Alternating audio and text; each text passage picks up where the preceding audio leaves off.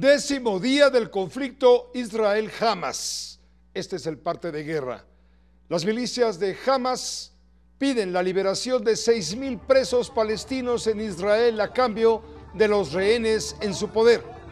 Entre 200 y 250 según el mando islamista.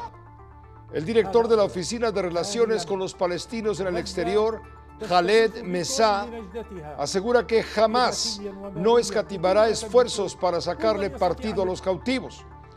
Portavoz de las milicias de Hamas habla de liberarlos cuando las circunstancias lo permitan. Revela que al menos 22 rehenes han muerto a causa de los bombardeos israelíes. Entre tanto, autoridades de Israel ajustaron a 199 la cifra de secuestrados por Hamas durante el ataque del 7 de octubre hace 10 días. Hay más de 1.400 muertos en territorio judío a causa de los misiles lanzados desde Gaza. Tenemos 199 rehenes en este momento, eh, de lo que podemos confirmar desde las Fuerzas de Defensa de Israel. Eh, y estamos en una guerra, como decía, de autodefensa. Tenemos el deber eh, y la obligación y, la obligación y la, eh, el derecho de proteger a nuestra gente. Actuamos de acuerdo al derecho internacional y de acuerdo a el, estatutos que implican que nuestros ataques están dirigidos contra objetivos militares, contra cabecillas terroristas en la franja de Gaza. Entre los rehenes está la mexicana Ilana Gritsevsky. Su padre llevó a cabo una manifestación justamente en calles de Tel Aviv durante el fin de semana.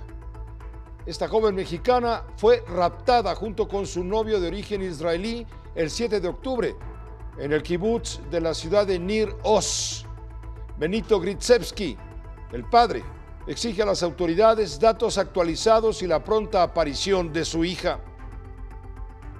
Ilana Gritsevsky y Orión Hernández son los dos mexicanos secuestrados por Hamas. El gobierno de México busca entrar en contacto con el comando islamista y con países de la región a fin de localizar y rescatar a ambos jóvenes. En el caso de la anestesióloga mexicana Bárbara Lango, radicada en Gaza, el vocero de la presidencia Jesús Ramírez Cuevas confirmó contactos de nuestro gobierno con Israel para permitir la salida de la mexicana del enclave palestino. Ella no está secuestrada, ella está, digamos, contenida, no puede salir de Gaza, que es otro asunto diferente. Bárbara Lango realizaba labores humanitarias con la Organización Internacional Médicos Sin Fronteras. La Conciencia está interviniendo para buscar eh, contactos tanto con Hamas como con gobiernos eh, y organizaciones afines para buscar, identificar primero dónde están y, buscar que los liberen. Por cierto, este lunes jamás publicó la primera prueba de vida de una rehén. En un video eh, publicado a través de la red Telegram, se observa a una joven recostada. Alguien le cura un brazo. Medios la han identificado como Mia Shem, de 21 años, residente en Shoham, ella es de nacionalidad israelo-francesa. Soy prisionera en Gaza. Me atendieron y me realizaron una cirugía que duró tres horas. Todo está bien. Solo les pido que me devuelvan a casa lo antes posible, que me devuelvan con mi familia. Este video no ha sido autentificado. El patriarca latino de Jerusalén, el cardenal Pierbatista Pizzabala, dijo estar dispuesto a cualquier cosa incluso a ofrecerse en un intercambio, precisamente a cambio de la liberación de los rehenes en manos de Hamas. Pizzabala no justifica bajo ningún concepto los ataques de la organización palestina, pero dijo apoyar algún tipo de mediación a fin de lograr que los secuestrados regresen a casa. Cientos de palestinos esperan poder huir de Gaza por el paso fronterizo de Rafah, el único que no está bajo control de Israel y que separa el enclave palestino de Egipto. Tanto Hamas como Israel negaron haber alcanzado un alto al fuego y la apertura de ese paso, el de Rafah. El Ministerio de Salud en Gaza reporta casi 3.000 muertos y un millón de desplazados al momento. Sirenas de alerta por cohetes en Jerusalén, Tel Aviv y varias ciudades israelíes en el décimo día de la guerra entre Israel y el movimiento islamista palestino Hamas. Las dos partes negaron el lunes las informaciones sobre un alto el fuego y sobre la apertura del paso fronterizo de Rafah, en el sur de la franja de Gaza, el único que no está bajo control israelí y que separa el enclave de Egipto. Cientos de personas se acumulan en este paso fronterizo con el objetivo de cruzar Egipto y escapar de la guerra. Venimos al paso fronterizo todos los días. Nos ponemos en contacto con la embajada todos los días y nos dicen que vayamos al paso fronterizo. Esperamos 5, 6, 7, 8 horas y luego volvemos. El viaje no es seguro, no hay tregua. Deseamos que se resuelva este problema y que nos den información clara para poder viajar. El enfrentamiento entre Israel y Hamas se desencadenó tras el sangriento ataque del sábado 7 de octubre contra territorio israelí, el peor de su historia, en el que murieron más de 1.400 personas, muchas de ellas civiles. Hemos visto heridas horribles en la cabeza, cabezas destrozadas o cerebros que estallaron. Estábamos literalmente sosteniendo cerebros que se derramaban frente a nosotros personas con múltiples disparos en la cabeza, como si un disparo no hubiera bastado, sino cinco o seis disparos en la cabeza. No queda nada. Había una mujer sin sus ojos. En respuesta al ataque, Israel prometió aniquilar a Hamas, lanzó una intensa campaña de bombardeos en la franja de Gaza y pidió a los civiles que huyeran de la ciudad de Gaza hacia el sur para protegerse de la próxima etapa de su ofensiva. Según las autoridades gazatíes, más de 2.700 personas han perdido la vida en la franja y más de un millón se han desplazado dentro del territorio sitiado. La Agencia de la ONU para los Refugiados Palestinos advirtió que se está produciendo una catástrofe humanitaria sin precedentes en el enclave gobernado por Hamas, sitiado desde el 9 de octubre por Israel. Del lado egipcio se acumula la ayuda humanitaria que ha arribado desde varios países pero sin poder entrar en el territorio palestino. Ante la inexistencia de un corredor humanitario, Europa adelanta la posibilidad de habilitar un corredor aéreo humanitario con la franja de Gaza a través de Egipto. Así lo anunció la presidenta de la Comisión Europea, Ursula von der Leyen. Los dos primeros vuelos partirían esta semana. La Comisión ha anunciado que triplicará la ayuda humanitaria a la población civil de Gaza hasta 75 millones de euros y vamos a poner en marcha un puente aéreo humanitario a Gaza a través de Egipto. Los dos primeros vuelos comenzarán esta semana. Llevarán productos humanitarios a Gaza y seguiremos trabajando con nuestros socios en la región para evaluar y atender las necesidades sobre el terreno. Durante la misa del domingo en el Vaticano, el Papa Francisco hizo un llamado a Israel y a Hamas. El pontífice pidió corredores humanitarios precisamente para ayudar a la población gazatí, así como la liberación de los rehenes en manos del grupo islamista. El derecho humanitario tiene que ser respetado, especialmente en Gaza, donde es urgente y necesario garantizar corredores humanitarios y socorrer a toda la población.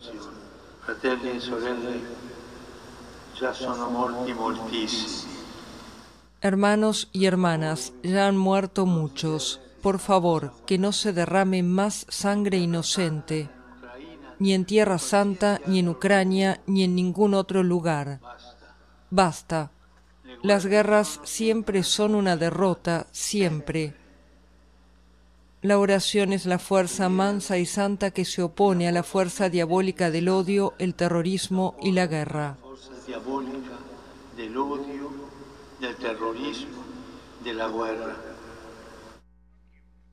Esta tarde se anunció el presidente de Estados Unidos, Joe Biden, visitará Israel pasado mañana. El anuncio lo dio a conocer el secretario de Estado, Anthony Blinken, desde Tel Aviv.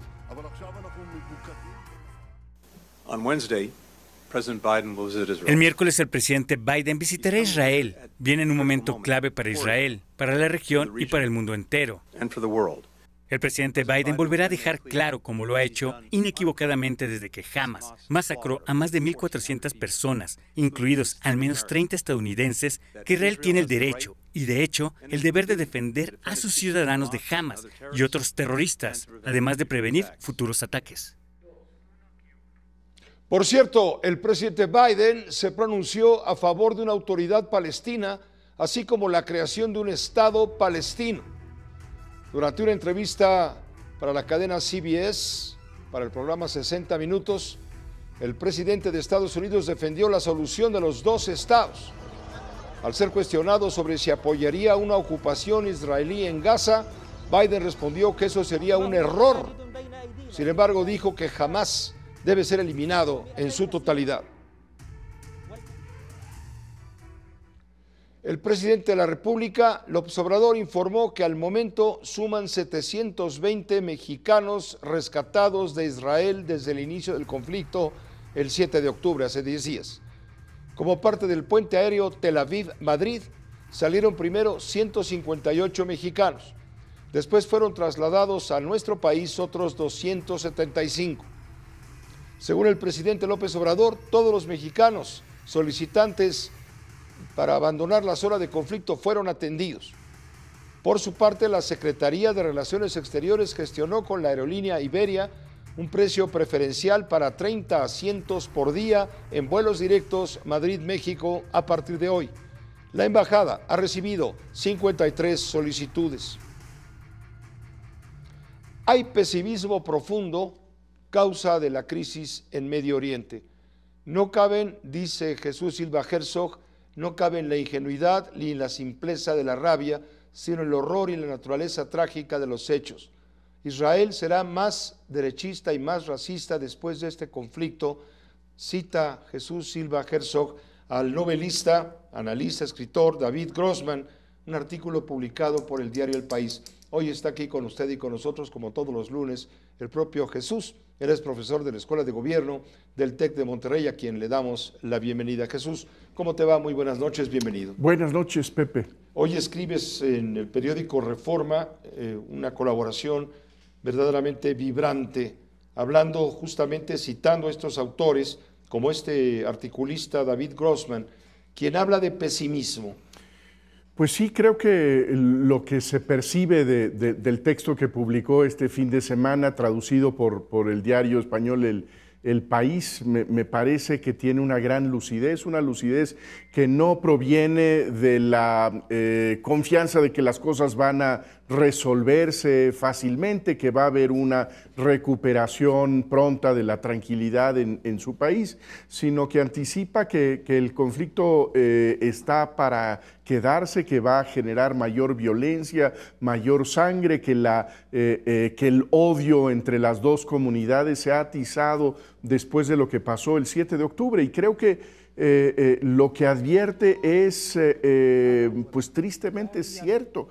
Que va a alentar los prejuicios más odiosos. Yo creo que esto que, que, dice el escritor, el ensayista eh, israelí, es lo que estamos viendo ya en, eh, en, todos los polos, en ambos polos. Estamos viendo eh, que por un lado hay este nuevo impulso al antisemitismo en muchos espacios del mundo y por el otro lado... Viste ayer en, en, Holanda, en, en, España, en París, en Francia, quiero decir eh, eh, en los países, por supuesto, de Medio Oriente, proislamistas, esta, esta, inquietud, ¿no?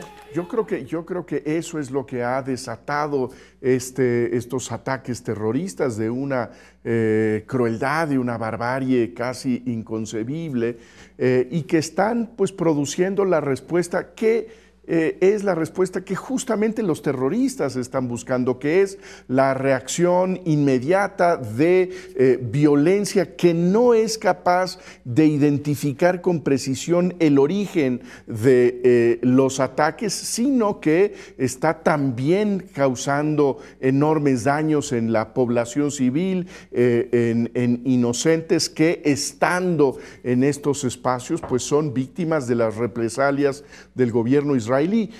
creo que, necesitamos encontrar la, máxima sensatez en, en la política israelí, es lo que me parece que es urgente en estos momentos. Creo que el discurso, por ejemplo, del presidente Biden es un, es un, discurso razonable, sensato, que por una parte hace la condena enérgica del terrorismo, pero que conduce también de manera muy eh, coherente a que la defensa del Estado israelí sea de acuerdo a los conductos del, derecho internacional y una política humanitaria. Citas en este análisis, en esta colaboración tuya y que ahora compartes con la audiencia de Uno TV Noticias, citas eh, el famoso 11S de septiembre, el peor acto terrorista sufrido por los Estados Unidos, eh, que cobró incluso menos vidas de las que ha costado ya en este momento este conflicto. Estamos hablando de cuatro mil muertos en ambos, en ambos bandos.